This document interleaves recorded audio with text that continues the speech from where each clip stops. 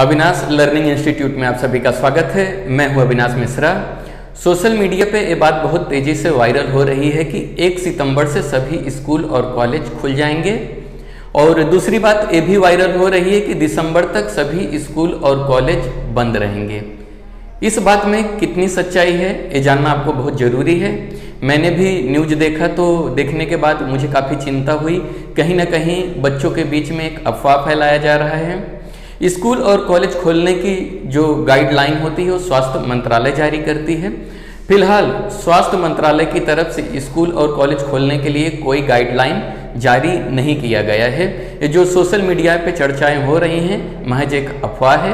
आप अफवाहों पे ध्यान मत दीजिए, आप अपनी पढ़ाई की अच्छे से तैयारी कीजिए। अगर स्कूल और कॉलेज खुलेगा तो इसकी जानकारी आपको केंद्र सरकार, राज्य सरकार और स्वास्थ्य मंत्रालय की तरफ़ से आपको जानकारी दे दी जाएगी। तो बच्चों, आप लोग अफवाहों पर ध्यान मत दीजिए। अपने जो पढ़ाई है, उसकी अच्छे से तैयारी कीजिए। जब भी स्कूल और कॉलेज खुलेगा तो इसकी जो सटीक जानकारी रहेगी, वो सरकार के द्वारा दी जाएगी।